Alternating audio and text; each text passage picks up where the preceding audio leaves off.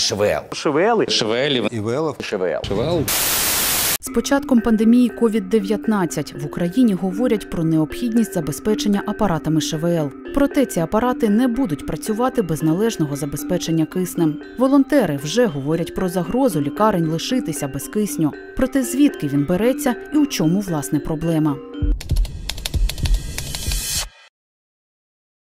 Варіантів забезпечення киснем лікарень три: кисневі станції, котрі концентрують кисень безпосередньо на території лікарні, бочки для скрапленого кисню, які заправляються постачальниками, та кисневі балони, які заправляються на заводах. Ще портативні кисневі концентратори, проте їх потужності не вистачає для тяжких хворих. У більшості українських лікарень все ще використовують саме балони. Якщо в лікарні кисень необхідний великій кількості людей, то цей спосіб стає дуже небезпечним, адже балони доводиться часто міняти, і це створює загрозу вибуху. Є рампа, на яку ці балони встановлюються, і ці балони, які знаходяться під високим тиском, це важкі по своїй природі штуки такі. Перетягти один з пункту А в пункт Б одна людина не в змозі, тому що 90, е, 90 кілограм важить один балон. Щоб його доставити, потрібно мінімум два працівника, які навчені роботі з судинами високого тиску,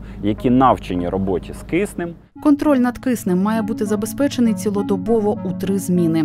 А ще ідеально має працювати логістика, адже балони потрібно вчасно замовляти, доставляти та десь зберігати.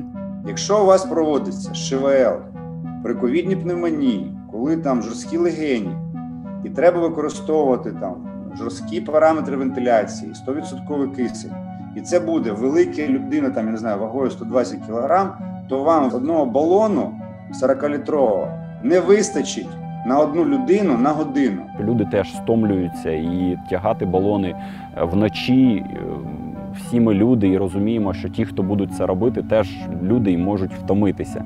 Це небезпечно, просто небезпечно. За західними стандартами балонний кисень використовується лише для транспортування хворих. Натомість в Україні балони все ще використовуються як основний засіб для кисневої терапії. Кисневі станції та бочки зі зрідженим киснем є більш безпечними насамперед через те, що вони не під тиском, і з ними лікарні можуть менше переживати про логістику. Проте дуже мало закладів охорони здоров'я мають такі засоби. Крім того, вартість одного балону кисню від 300 до 500 гривень. Якщо порахувати, то мінімальна вартість дихання на апараті ШВЛ протягом однієї доби для однієї людини більше 7 тисяч гривень. Це без медикаментів, оплати праці персоналу та логістики, лише кисень. Зазвичай балони належать там не вам, не, не лікарні.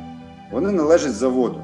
І ви ще сплачуєте за оренду балонів. Тому поставити балони це типа просто. Тобто ви поставили десь там якісь там, я не знаю, там сарайка якась, е, відвели від неї там, ну не знаю, якийсь там трубопровід, і все, ви маєте балони. Якщо це маленька лікарня, яка там проводить штучну вентиляцію, там коли не коли, а решту часу воно там просто стоїть, то це ну таке собі дешеве рішення, там швидке рішення, там не треба там якогось там, там проєкту і все таке. І тому, коли прийшов ковід, це все перестало працювати, тому що у вас одночасово з'явилася велика кількість людей, які потребують великої кількості кисню. Якщо у вас лікарня, яка ну, побудована на е, по- по- подачі кисню через балони, то ви будете банкрутом.